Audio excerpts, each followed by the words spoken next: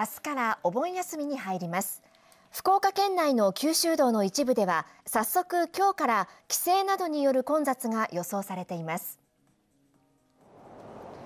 ネクスコ西日本によりますと九州道上りでは早速今日午後6時頃から木山パーキングエリア付近を先頭に10キロ程度の渋滞が予想されています。このほか上りでは13日に古賀サービスエリアを先頭に。14日は広川インターチェンジ付近を先頭に最大で15キロ程度。下りでは明日神殿トンネル付近を先頭に13日鳥栖ジャンクション付近を先頭に最大で 15, キロ程度の渋滞が予想されています。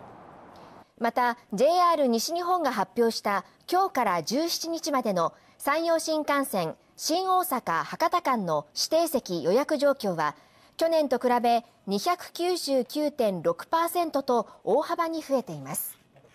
下りのピークは明日上りのピークは14日になるとみられています。